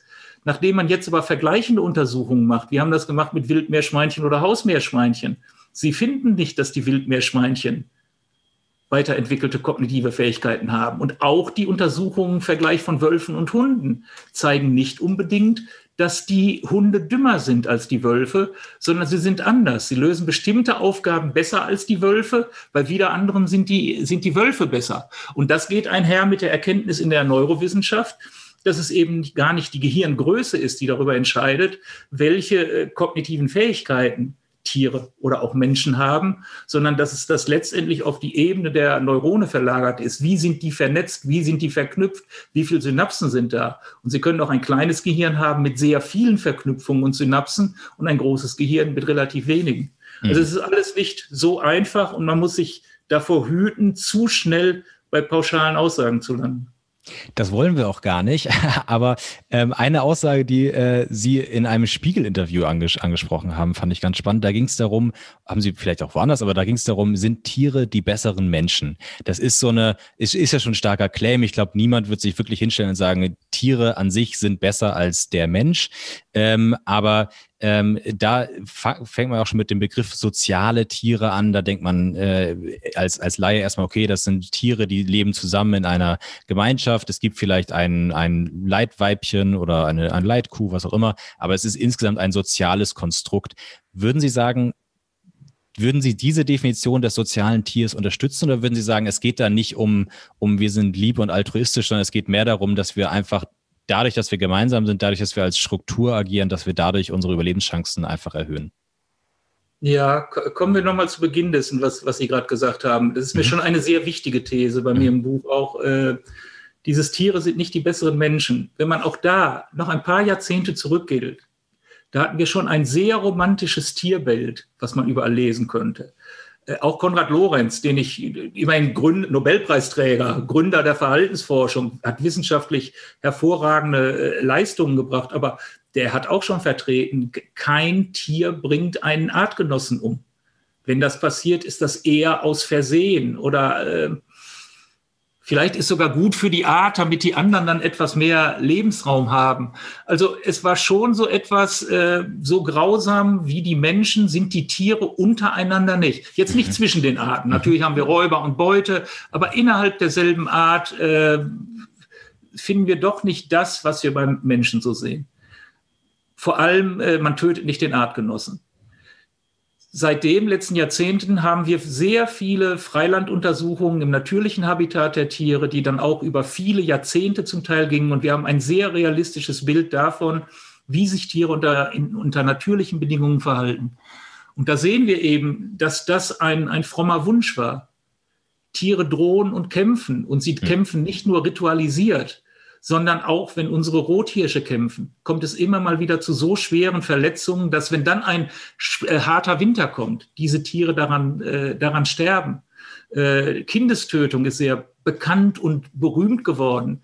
Bei, Über bei Löwen sind nachgewiesen, genau, Sie sagen es, sind nachgewiesen, äh, wo Kinder getötet werden, zum Teil von den, von den Weibchen, aber auch von Männchen. Die Löwen sind berühmt. Äh, wenn ein, ein, ein Löwenrudel besteht eben aus, aus vielen miteinander verwandten Weibchen, die ein Leben lang im selben Ge äh, Gebiet bleiben. Und dann sind immer ein, zwei, drei, im Schnitt sind es zwei Männchen, oft Brüder, die da sind, aber nur für zwei bis drei Jahre. Und dann kommen neue Männchen, besiegen die, vertreiben die und übernehmen das. Und wenn alles schon vorbei ist, dann gehen diese Männchen, die neuen, häufig hin und töten ausschließlich die noch nicht entwöhnten Jungtiere. Und auch dieses Phänomen ist seit langer, langer Zeit bekannt. Und tatsächlich findet man in der Literatur so etwas wie, die meinen das eigentlich nicht so. Mhm. Oder äh, es trifft immer das schwächste Glied in der Kette und das sind nun mal die Kinder oder bis hin, ja gut, dann ist mehr Lebensraum für, für alle anderen vorhanden. Heute geben wir eine völlig andere Erklärung. Heute sagen wir, äh, na gut, das ist durch das Wirken der natürlichen Selektion hervorgebracht, weil die Männchen wirklich etwas davon haben. Und zwar, solange die Weibchen ihre Jungen säugen, gibt es einen hormonellen Regelkreis, der heißt Laktationsamenorrhoe. Das heißt, solange gesäugt wird, gibt es keinen Eisprung. Mhm. Solange es keinen Eisprung gibt, können sich die neuen Männchen nicht mit dem Weibchen fortpflanzen. Wenn sie hingehen und töten die noch nicht entwöhnten Jungtiere, kann man zeigen, dass die Weibchen sehr schnell wieder ovulieren, dass es zu einem Eisprung kommt. Und es gibt mathematische Modelle, wo man zeigen kann, dass die Männchen, die diese Kindestötung begehen, dann doch einen erheblichen Vorteil haben, Kopien ihrer Gene in die nächste Generation weiterzugeben und auch dies ist ja so ein Paradigmenwechsel. Tiere verhalten sich nicht zum Wohle der Art, sondern die Tiere verhalten sich so, um mit maximaler Effizienz die eigenen Gene in die nächste Generation weiterzugeben. Und da hat sich in unserer Sichtweise schon sehr viel verändert. Und wir können heute sagen, äh, Tiere, wenn es dem nützt, die eigenen Gene weiterzugeben, dass man nett ist, dass man lieb ist, dass man empathisch ist, dass man sozial gegenüber anderen ist, dann machen die Tiere das. Hm. Wenn es aber vorteilhafter für die Weitergabe der eigenen Gene ist, Kinder zu töten, zu drohen, zu kämpfen, zu vergewaltigen oder selbst Kriege zu führen, dann sehen wir das bei den Tieren auch. Und auch gerade bei diesem letzten Punkt, Kriege führen, das ist auch für die Schimpansen ist mittlerweile sehr, sehr gut belebt, bei, belegt bei freilebenden Schimpansen und nahezu bei allen Populationen, die jetzt über viele Jahre untersucht worden sind, zum Teil über Jahrzehnte, dass das, was Jane Goodell ja schon in den 60er Jahren beschrieben hat, nicht die Ausnahme ist, sondern dass das regelmäßig auftritt, nämlich dass Männchen aus einer Gruppe sich zusammentun, dann einige wenige Männchen, oft nur ein einziges einer anderen Gruppe isolieren und die bestialisch umbringen. Und es ist viel äh, diskutiert worden wieder, warum machen die das? Und dann ist gesagt worden, ja gut, das hängt äh, mit der Abholzung des Regenwaldes zu tun. Mhm. Oder es hängt mit dem Anf äh, Anfüttern der Tiere durch die Menschen zu tun. Und selbst der Ökotourismus ist benannt worden. Aber die wissenschaftlichen Analysen, die man über alles macht, kommen zu einer ganz anderen Ergebnis. Die Faktoren sind es offenbar nicht, sondern damit vergrößern die Männchen ihr Territorium. Dadurch haben sie mehr Ressourcen. Damit erhöhen sie ihre Wahrscheinlichkeit, die eigenen Gene in die nächste Generation weiterzugeben. Das heißt, auch dieses kriegerische Auseinandersetzungen im Tierreich scheint etwas zu sein, was durch das Wirken der natürlichen Selektion äh, positiv selektiert worden ist. Und wenn man das alles zusammenfasst, das ist mein Punkt eben, den ich sage, die Tiere sind nicht die besseren Menschen. Wir können nicht auf dieses romantische Tierbild ja. zurückgreifen und sagen, wäre das doch schön, wenn das bei uns Menschen so wäre, wie es bei den Tieren ist. Äh, besser nicht, äh, denn die sind auch nicht besser als wir. Wir werden nicht weniger gewalttätig, auch ja, innerhalb der Art. Damit, damit sind die Tiere, aber das muss man sich auch klar machen, uns Menschen natürlich auch noch mal ähnlicher geworden. Hm. Sie sind Bezug auf die kognitiven Leistungen ähnlicher geworden. Sie sind uns in Bezug auf die Emotionen, die wir haben, äh, die sie haben, ähnlicher geworden. Aber auch bei diesem Punkt, sie sind nicht die besseren Menschen. Auch da sind sie sehr ähnlich äh, wie wir Menschen. Äh, ein Schimpanse hat beides. Dieses empathische Trösten, was da ist. Mit voller Mitgefühl wird der Unterlegene in die Gruppe zurückgeholt. Aber tödliche Aggression äh, gegenüber Gruppenfremden beides macht den Schimpansen auch aus. Mhm. Und äh, das sehen wir auch von vielen anderen Tieren. Die Tiere machen das, was am geeignetsten ist, um die eigenen Gene mit maximaler Effizienz in die nächste Generation zu bringen. Und wenn man dafür empathisch, altruistisch, liebevoll ist, wird das gemacht. Wenn man, darf, wenn man das besser erreicht mit Töten, wird das genauso gemacht. Und Sie haben jetzt ja die, die Schimpansen, Sie haben gesagt, andere Tiere auch. Klar, wir haben über Löwen gesprochen, aber Schimpansen, da kommt ja häufig dann das Argument, ja, aber die sind ja auch schon relativ nah am Menschen dran. Aber äh, es stimmt, also nach allem, was ich weiß, stimmt es ja nicht, dass man sagen könnte, okay, je intelligenter das Tier nach den genannten Maßstäben, desto mehr neigen sie zu Grausamkeit, zu Gewalt innerhalb der Gruppe. Weil ich glaube, es gibt ja Spinnenarten, die, die bringen sich nach dem Sex um. Es gibt, äh, äh, ich glaube, Mottenlarven fressen sich zum Beispiel, äh, neigen zu Kannibalismus. Also es hat in dem Sinne nichts miteinander zu tun. Nein, das hat, die, die These ist ganz sicher nicht haltbar. Aber jedes dieser Beispiele, was Sie bringen, kann man darüber erklären, dass darüber die Wahrscheinlichkeit gesteigert wird, die eigenen Gene in die nächste Generation weiterzubringen. Wir haben eine einheitliche Theorie, die das alles erklären kann. Und das Letzte, was es zu diesem Kriege äh, bei Tieren gibt, war sogar über Eichelspechte, also eine mhm. Vogelart, wo wir mhm. auch so Dinge haben, das auch tituliert wurde mit äh, Kriege bei den, äh, bei den Tieren. Also es sind längst nicht nur die Schimpansen, äh, ist ein weiter verbreitetes Phänomen. Hm. Ja, die, die Rückfrage, die sich da ja eigentlich nur stellt, ist, wie viel macht das bei uns Menschen aus in unserem täglichen Umgang, da, dass wir unser Genmaterial möglichst verbreiten wollen. Aber das wollen wir hier gar nicht heute allzu sehr vertiefen. Ähm, wozu ich noch gerne mit Ihnen sprechen würde, ist, was Sie schon angesprochen haben, das Thema Gefühle, Emotionen, Instinkte, was so ein, so ein, so ein grober, grobe Überschrift wäre. Ähm, äh, ab wann, sagen Sie denn als Verhaltensbiologe, reden wir von Emotionen und wann reden wir von Gefühlen? Ja, ich finde, dass die Philosophen eigentlich schon seit, Jahr, glaub, seit Jahrhunderten da eine wunderbare äh, Definition haben und mit der können wir in der Verhaltensbiologie eigentlich auch sehr gut leben. Da habe ich nämlich gelernt, dass äh, Gefühle bewusste Emotionen sind. Also eine mhm. Emotion, das muss nicht bewusst sein. Sagen wir mal, ein, ein, ein Baby hat sicherlich Emotionen aber es hat in dem Sinne nach dieser Definition noch keine Gefühle. Es weiß nicht, welche Emotionen es hat. Äh, das heißt, man braucht, wenn wir von Gefühlen reden, müsste man letztendlich schon so etwas wie ein Bewusstsein haben, um über seine Emotionen sprechen zu können. Ein das Selbstbewusstsein, heißt, das, was Gefühle, wir eben hatten. Ja, Gefühle würden wir in dem Sinne dann äh, bei den Tieren, wo wir Ansätze von Ich-Bewusstsein nachweisen, da könnte man darüber reden, ob das nicht in einem, in diesem Sinne Gefühle wären.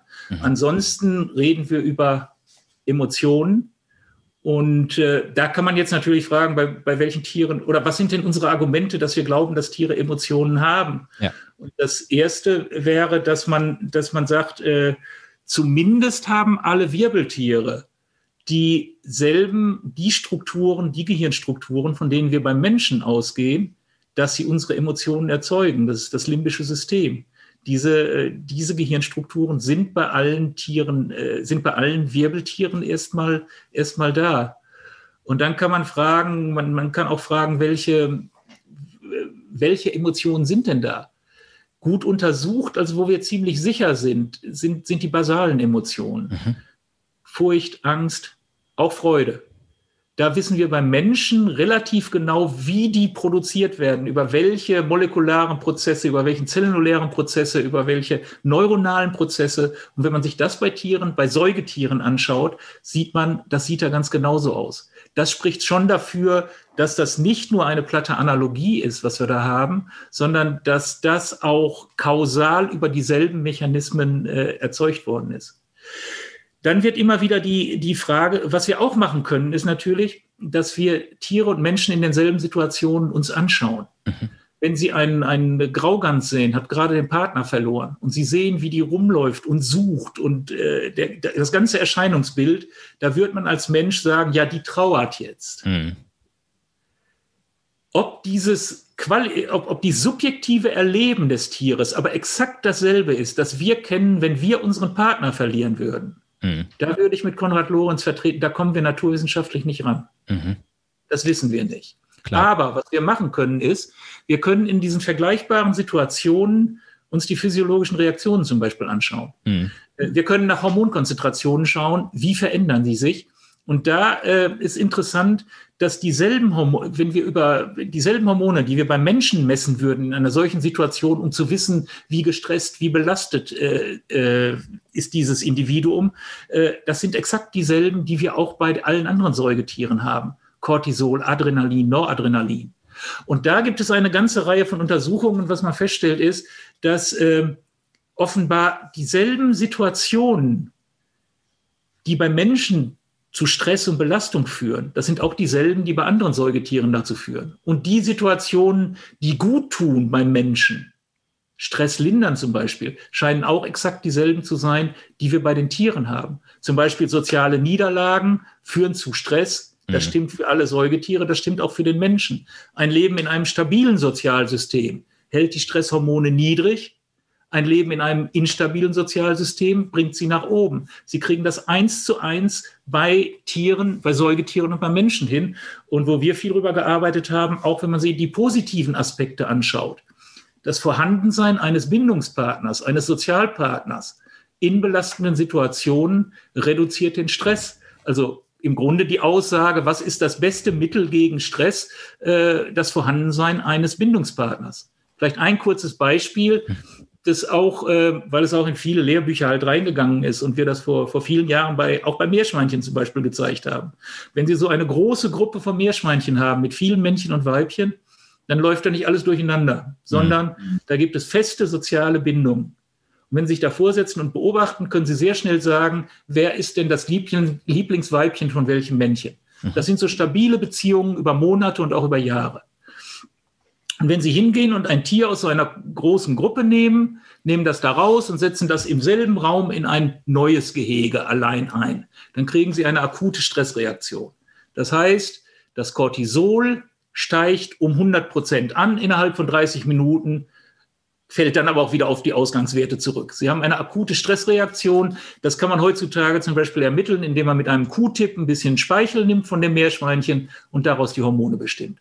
Und wir haben uns gefragt, kann man diese Stressreaktion eigentlich dämpfen, indem das männliche Tier dann nicht alleine in, dieses neue, in die neue Situation kommt, sondern zusammen mit einem Weibchen. Mhm. Und für männliche Meerschweinchen gibt es aber drei Kategorien von Weibchen. Einmal fremde Weibchen, die haben sie nie gesehen einmal bekannte Weibchen, die laufen auch in derselben Kolonie jeden Tag rum, denen begegnen die jeden Tag.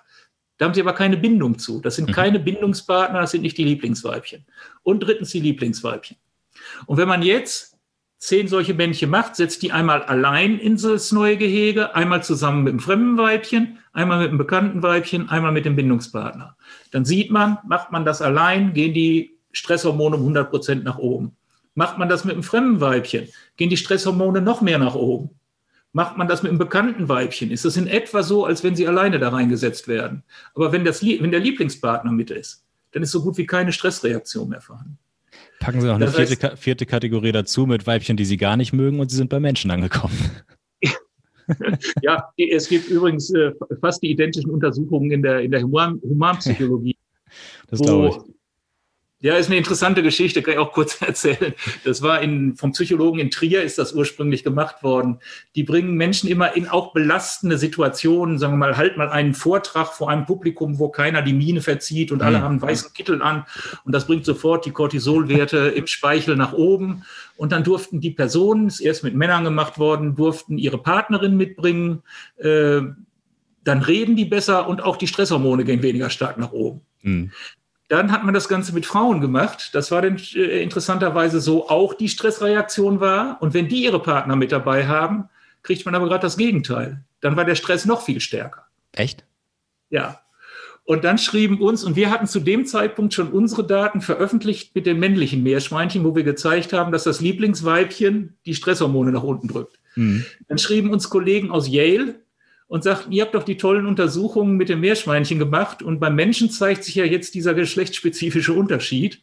Könnt ihr nicht mal auch noch mal bei eurem Meerschweinchen untersuchen, ob das auch nicht in der anderen Richtung geht? Daraufhin haben wir dann eine Diplomarbeit damals gemacht und aus der kam tatsächlich raus, dass beim Meerschweinchen es tatsächlich symmetrisch ist. Auch das Weibchen, wenn das den Lieblingspartner dabei hat, kommt es zu einer Runterregulation der äh, Stresshormonkonzentration. Hängt, kann das mit der Dominanz irgendwie zusammenhängen? Aber mehr, Meerschweinchen Männchen sind doch auch die dominanteren Tiere als die Weibchen, hey. oder? Ja, Sie bringen da gerade eine interessante Hypothese ins Spiel. Bei Meerschweinchen haben wir, wenn Sie äh, ein Männchen und ein Weibchen haben, haben Sie keine, da gibt es keine Dominanzbeziehung. Okay. Das sind einfach zwei verschiedene Geschlechter. Da kann man aber nicht sagen, das eine ist dominant über das andere. Hm. Vielleicht erklärt ja beim Menschen das Ganze, dass Würde da vielleicht vermuten. bei äh, mitteleuropäischen äh, Mittelklasse-Versuchspersonen vielleicht da doch eine Dominanzbeziehung ist, die dieses geschlechtsspezifische Verhalten in den Stressreaktionen erklären könnte. Aber nochmal, äh, wir sind dabei bei den Emotionen. Man mhm. kann sich anschauen in vergleichbaren Situationen. Äh, man, man kann, man weiß nicht, wie das subjektive Erleben ist. Mhm. Man kann aber zum Beispiel äh, physiologische Reaktionen anschauen und sieht dann, dass das sehr, sehr vergleichbar ist sehr schöne Untersuchungen auch an, an Spitzhörnchen. Das ist also monogam, leben auch monogam. Ähm, wenn man da ein, ein Männchen und ein Weibchen zusammenbringt, dann mögen die sich meist nicht. In, mhm. in, in 10, 20 Prozent der Fälle ist das sogar so, dass das Weibchen sofort auf das Männchen losgeht und man muss die trennen. Also es geht mhm. überhaupt nicht. In 10 Prozent der Fälle sehen die sich aber, das sieht aus wie Liebe auf den ersten Blick, die gehen aufeinander zu, die kuscheln aneinander, die belecken sich, die reproduzieren dann auch wunderbar. Das heißt, man kann da aber, indem man unterschiedliche Tiere zusammenbringt, hat man harmonische und unharmonische Paare. Mhm. Und wenn man die genauer untersucht, dann sieht man, dass bei den harmonischen Paaren äh, das Immunsystem viel besser ist, die Stresshormone niedriger sind, die Herzschlagrate deutlich niedriger ist. Das heißt, dass die wesentlich gesünder sind. Wenn man das Ganze aber wieder vergleicht mit dem, was wir vom Menschen wissen, kommen wir auch wieder zu sehr ähnlichen Befunden, wo auch äh, ja seriöse Befunde da sind, dass eine qualitativ gute Sozialbeziehung mit das Beste ist, was man haben kann, um einen ausgezeichneten Gesundheitszustand zu haben. Und dass eine stressige Beziehung schlechter sein kann als gar keine Beziehung. So ist das. ja. Das heißt, diese Art von, äh, die gleichen Strukturen, Gehirnstrukturen, äh, bei den basalen Emotionen dieselben molekularen neuronalen Prozesse, vergleichbare Reaktionen in vergleichbaren, äh, in, in vergleichbaren sozialen Situationen bei Mensch und Tier. All das spricht dafür, dass wir vergleichbare Emotionen haben könnten. Und die neueste Forschung in der Richtung ist, dass man auch äh, nach Optimisten und Pessimisten im Tierreich schaut. Das ist hochspannende mhm. Forschungsrichtung. Wir kennen das beim Menschen ja, dass man sagt, hier ist ein Glas Wasser, der eine sagt, das ist ja halb voll und der andere sagt, es ist halb leer. Den einen würden wir als Optimisten, die andere als Pessimistin bezeichnen. Äh, und da ist von Michael Mendel, ein, ein britischer Kollege hatte 2003 eine wirklich tolle Idee, dass man sowas auch bei Tieren untersuchen könnte. Mhm. was er gemacht hat, das war ursprünglich mit, mit Ratten die Untersuchung, dass er die Ratten trainiert hat auf einen Ton und da wussten die, da muss man einen Hebel drücken, jetzt gibt es Futter. Mhm. Und auf einen anderen Ton wurden die Ratten trainiert. Dann mussten sie lernen, man darf auf, man muss, äh, man muss einen, einen, einen Hebel drücken, einen anderen, sonst kommt eine Bestrafung. Ein helles Licht ging an und es kam mhm. Lärm. Nachdem die das gelernt hatten, kann man dann einen Ton geben, der exakt in der Mitte liegt. Und dann sieht man, dass manche Tiere hingehen und so den Hebel drücken, weil sie erwarten eine Belohnung. Und die anderen Tiere drücken so, als wenn sie eine Bestrafung erwarten. Das heißt, auch in, in ambigen Situationen sieht man, dass wir Tiere haben, die Optimisten und die Pessimisten sind. Und dann kann man hingehen und zum Beispiel die Haltungsbedingungen von den Tieren verbessern. Und dann mhm. sieht man, dass man damit die mehr zum Optimismus hin verschiebt. Und wenn man die Haltungsbedingungen verschlechtert, verschiebt man sie mehr zum Pessimismus hin. Und das Ganze hat einen Boom in der Forschung ausgelöst, in der Animal Welfare Forschung, Wohlergehensforschung, wo, wo, wo sicherlich 500 Arbeiten mittlerweile da sind an den unterschiedlichsten Tierarten, wo man jetzt untersucht, welche Faktoren führen dazu, dass Tiere eher optimistischer werden oder dass sie eher pessimistischer werden. Und wenn wir dann über tiergerechte Haltungssysteme sprechen, dann sollten diese Haltungssysteme natürlich die Faktoren beinhalten, die für diese Art die Tiere mehr Richtung Optimismus verschiebt. Hm. Aber auch dies Ganze spricht wieder dafür, dass wir äh, Emotionen bei Tieren haben und dass wir da sehr wohl wissenschaftliche Aussagen darüber machen können. Was ich ja auch ganz spannend finde. Also es gab ja auch zum Beispiel relativ bekannt dieses, dieses Red Park-Experiment. Äh, ich glaube, das war mit, mit Heroin bei den Ratten, ähm, dass die ja auch mehr dazu geneigt haben, das, davon häufiger zu nehmen, wenn sie unter schlechten Bedingungen gehalten ja. wurden. Ähm, das ist quasi das, äh, die Lebensumstände, vielleicht auch in einem gewissen, also so erworbene Persönlichkeit ähm, jetzt ist ja bei Menschen immer die Frage, wie viel ist wirklich angeboren, wie viel sind die Gene und wie viel ist, sind, ist, ist Erziehung, Umwelt etc. Das ist ja bei Menschen immer sehr schwer, weil man keine Laborexperimente äh, über lange Zeiträume machen kann. Äh, dann wird das versucht, über irgendwelche eineigigen Zwillinge darzustellen, die getrennt wurden bei der Geburt oder sowas. Bei Tieren sind ja viel kürzere Rhythmen und man kann sie besser im Labor beobachten. Gibt es da eine Beobachtung, wie viel der Persönlichkeit angeboren ist? Ja, ist auch eine sehr gute Frage und ein sehr weites Forschungsfeld. Äh, ich persönlich halte nicht sehr viel von diesen Prozentangaben. Mhm. Und ich bin da auch sehr skeptisch geworden. Wir haben ja in den, in den letzten, auch könnten wir auch eine ganze Sendung drüber machen, in den letzten 25 Jahren einen, einen riesen Boom mit dieser Molekulargenetik äh, erlebt. Mhm. Es war ja vor, vor 20 Jahren kam ja jede Woche eine neue wissenschaftliche Arbeit raus, gehen für dies gefunden, gehen für das gefunden, gehen für Lernen, gehen für Ängstlichkeit, gehen für zirkadiane Rhythmen, gehen für Intelligenz, gehen für Homosexualität, alles da. Das ging einher mit der Sequenzierung des menschlichen Genoms. Da war eine Methode, wir kennen beim Menschen alle Gene, bei den Tieren kann man sie auch bestimmen. Und äh, die Hoffnung war natürlich auch, wenn wir jetzt alle Gene kennen, verstehen wir auch das Verhalten, verstehen alle Krankheiten. Dann mhm. haben wir mühsam gelernt, dass das ja so einfach alles nicht ist. Dahinter hat sich auch unser Weltbild sehr mit, mit, dieser Art von Forschung verändert in der Gesellschaft, was ich damals sehr erschreckend fand. Ich bin groß geworden, als ich studiert habe, äh, da glaubte man, dass fast alles umweltbedingt ist. Ich habe tatsächlich noch in einer Psychologievorlesung gehört, äh, dass man aus jedem neuen geborenen Baby einen Mozart oder Einstein machen könnte, wenn wir nur wirklich wüssten, wie man richtig belohnen und bestrafen muss. Mhm. Also der Glaube war, das geht alles über Umwelt. Im Zuge dieser Forschung, wo man Gene für irgendwas fand, ist in unserer Gesellschaft plötzlich auch, selbst auf der Ebene, wenn man die Zeit las oder die FAZ oder unsere seriösesten Journale, kam plötzlich ein Glaube, wie viel eigentlich im menschlichen Verhalten genetisch ist. Mhm. Und dann haben wir wieder so langsam, da sind wir noch drin, so eine Gegenbewegung erlebt, dass man sagt, äh, nein, es ist ja wohl nicht genetisch determiniert, ist aber auch nicht umweltdeterminiert, sondern wir haben eine Interaktion, ein Zusammenspiel von bestimmten Genen mit Umwelterfahrung. Und wir selbst konnten das zum Beispiel auch zeigen, äh, sehr schön, ähm, wir haben, ich, wir haben mal Untersuchungen gemacht, da ging es auch um, um tiergerechte Haltung und wir haben mit Mäusen Untersuchungen gemacht und haben genetisch identische Mäuse genommen und haben denen drei verschiedene Haltungsbedingungen gegeben.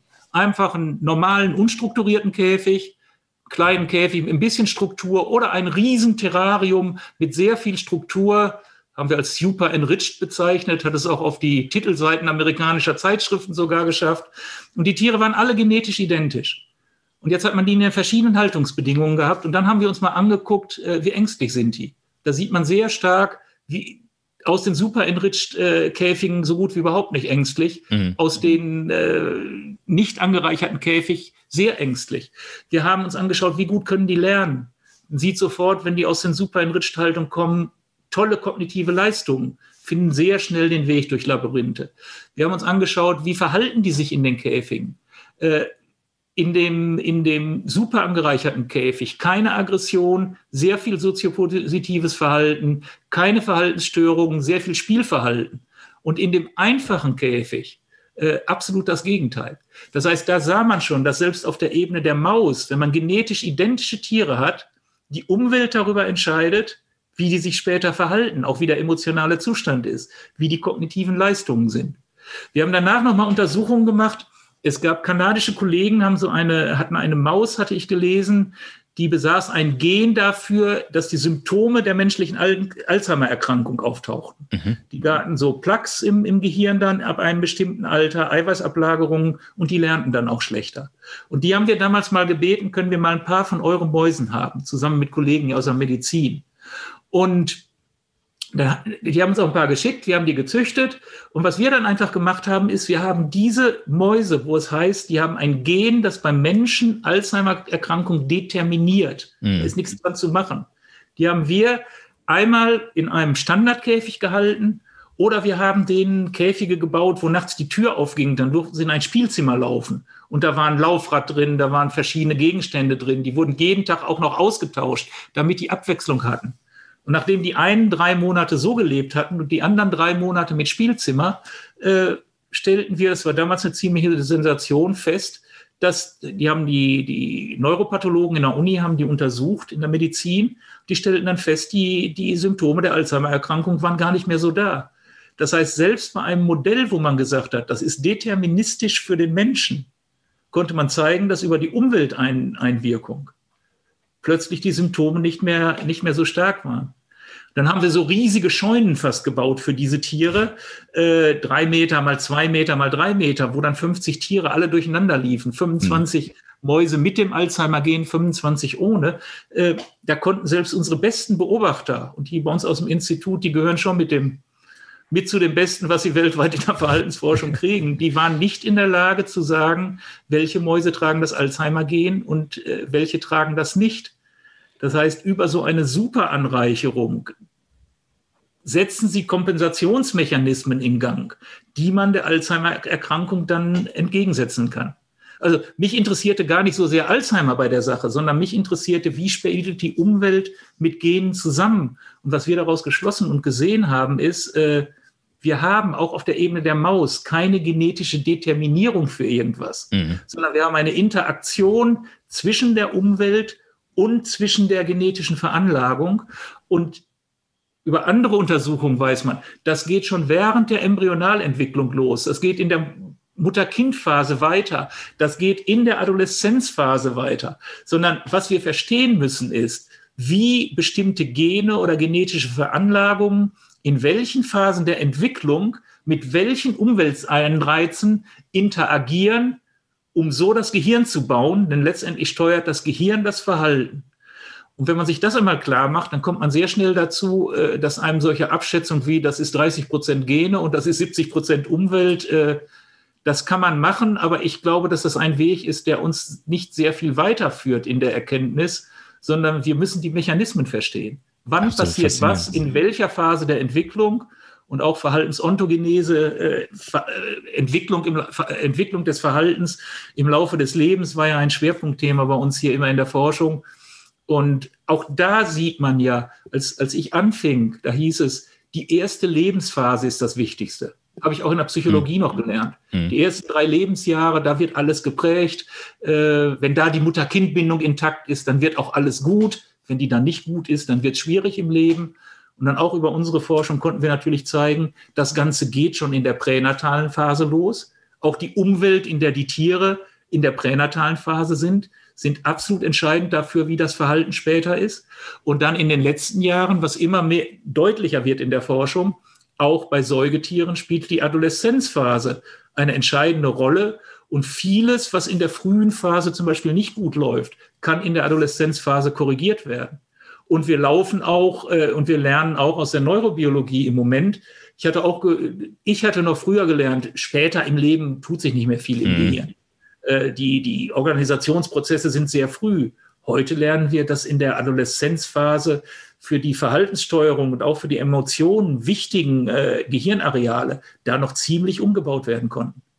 Und wir selbst konnten beim Meerschweinchen ja auch zeigen, ob ein Meerschweinchen eine hochaggressive Kampfmaschine ist oder ob es sich friedlich ein Leben lang mit jedem Fremden arrangieren kann, hat nichts mit der genetischen Veranlagung zu tun, hat auch nichts mit der frühen Mutter-Kind-Bindung zu tun, sondern hat ausschließlich damit zu tun, welche sozialen Erfahrungen die Tiere während der Adoleszenz machen. Da lernen sie soziale Regeln. Wenn sie die lernen in der Interaktion mit älteren dominanten Männchen, dann sind sie ein ganzes Leben lang nicht gestresst, wenn sie auf Fremde treffen, können sich mit denen arrangieren. Aber diese Regeln können sie vorher nicht lernen, vor der Adoleszenz. Und später im Leben können sie es auch nicht mehr lernen. Das heißt wiederum die These, ja. äh, wir müssen verstehen, in welchen Phasen der Entwicklung welche Erfahrungen, welche Umwelteinflüsse mit der genetischen Veranlagung zusammenwirken und das, das Ganze wird jetzt noch komplizierter über die letzten Jahre, weil wir ja nicht nur die genetische Veranlagung haben, die wir bei der Geburt mitkriegen, sondern es gibt auch noch diese epigenetische Veränderung der einzelnen Gene, die über Erfahrung auch wieder zustande kommen kann. Und das Ganze ist schon sehr, sehr komplex, was da abläuft. Verstehen wir immer mehr. Aber daraus am Schluss zu sagen, äh, bei meiner emotionalen Intelligenz ist 85 Prozent angeboren, äh, da würde ich nicht mehr mitgehen. Okay, dann, dann aber äh, dann lassen wir die Prozentzahlen weg, aber halten wir fest, wahrscheinlich spielt beides eine essentielle Rolle. Ja. Ähm, aber äh, eine Rückfrage noch kurz zu den, zu den Mäusen mit dem äh, Gen für, für Alzheimer. Ähm, hat sich denn das, die Alzheimer-Krankheit trotzdem an, am Gehirn bemerkbar gemacht, wenn man das Gehirn analysiert hat? Und haben andere, andere Gehirnareale quasi das übernommen, sodass es gar nicht aufgefallen ist, oder kam die Erkrankung gar nicht durch? Das, das ist ein sehr guter Punkt, den Sie da ansprechen. Der hat uns ähm, auch, auch sehr überrascht.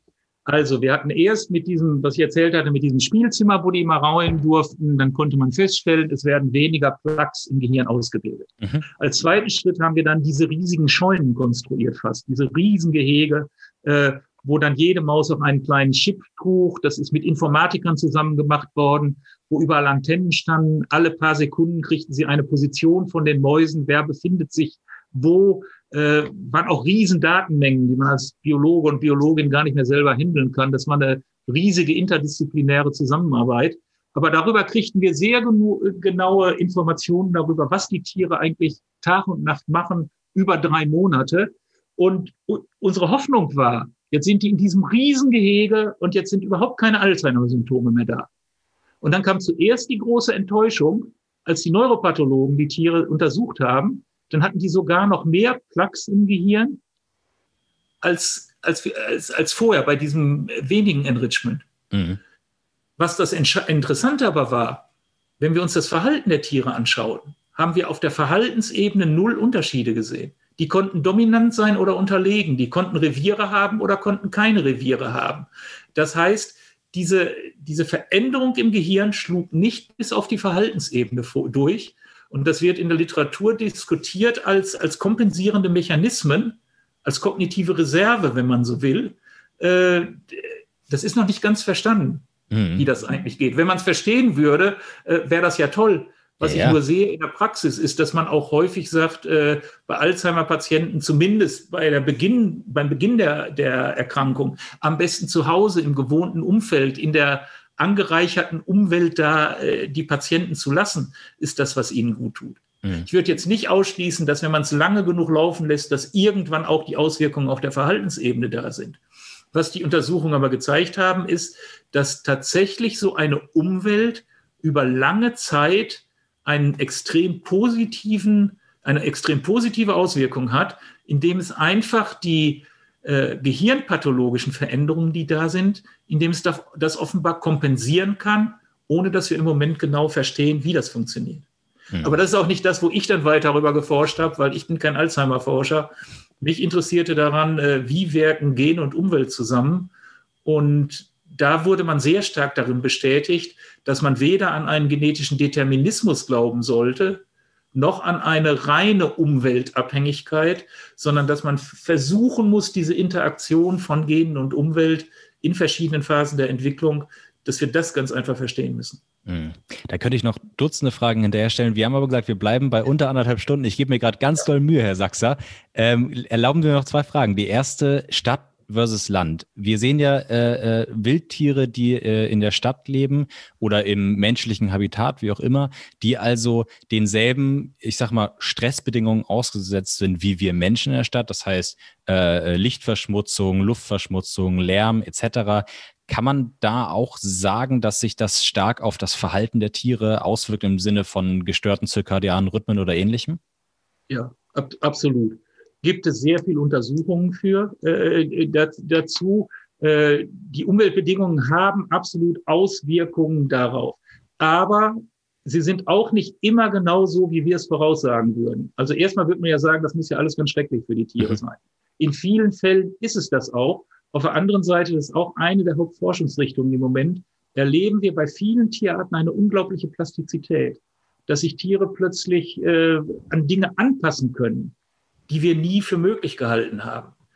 Und was wir im Moment nicht verstehen, was wir aber verstehen müssten, ist, dass manche Arten wunderbar klarkommen mit bestimmten Dingen, die wir als belastend empfinden, mhm. und andere kommen da überhaupt nicht mit klar. Steinmarder und Baummarder. Der Steinmarder freut sich äh, über jedes Haus, was mehr gebaut wird, so in Anführungsstrichen gesagt, und der Baummarder kann das nicht ertragen und, äh, und stirbt aus. Obwohl die nah verwandt miteinander sind, äh, wahrscheinlich 99,9 Prozent aller Gene identisch sind, äh, zu verstehen, welche Tierarten kommen mit den Veränderungen, die wir als Menschen induzieren, welche kommen damit klar und welche kommen da nicht mit klar. Und warum kommen manche damit klar und warum andere nicht, ist ein Top-Forschungsthema, äh, was in der Verhaltensforschung auch immer mehr junge, äh, begabte Studierende anzieht. Also man, man, sieht ja immer an den jungen Leuten, was interessiert die. Mhm dass wenn sie zu internationalen Kongressen gehen, ich war letztes Jahr da, in, vorletztes Jahr in Chicago bei diesem Weltkongress Verhaltensforschung, äh, welche Hörsäle sind voll mit den jungen Leuten? Da ist dieses Thema äh, äh, Verhaltensveränderungen bei, bei rapider Umweltveränderung. Was passiert da? Wie können wir das verstehen? Äh, welche Tiere können sich anpassen? Welche können es nicht? Und warum ist das so? Scheint mir eines der Top-Themen zu sein. Und äh, da wäre auch schön ist, dass die begabtesten jungen Leute jetzt in diese Richtung strömen. die werden sicherlich da auch für, für Lösungen äh, sorgen. Weil dieses Verständnis brauchen wir ja auch, um Biodiversität zum Beispiel überhaupt äh, erhalten zu können. Mhm. Das Interesse der jungen Leute verstehe ich auch sofort, weil ja auch ich habe das Gefühl, dass meine Generation auch sehr wieder de hinter dem Thema her ist, wie kann man in der Stadt gut leben und aber auch wieder diese Tendenz vielleicht wieder doch eher ein bisschen mehr aufs Land. Äh, Homeoffice macht es möglich, äh, ein bisschen mehr Natur um sich herum.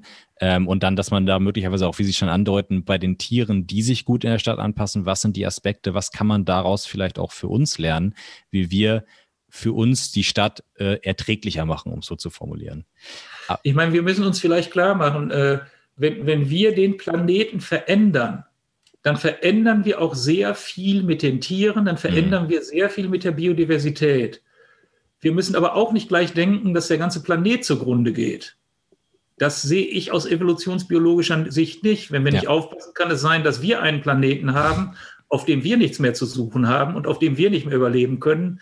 Aber das Ende des Planetens oder äh, des Lebens auf diesem Planeten das sehe ich nicht. Die, wir, äh, wir, müssen nicht die Erde retten, wir müssen uns vor der Erde retten. Wir, wir müssen, was wir versuchen ist im Moment, und das ist ja auch richtig, nicht, dass wir uns da missverstehen. Klar, logisch. Es ist wichtig, dass wir versuchen, alle Maßnahmen zu ergreifen, dass wir als Menschen weiterhin auf diesem Planeten existieren können. Mhm. Das ist aber manchmal, das wird durcheinander geworfen mit äh, Rettung der Schöpfung und Rettung des Planeten.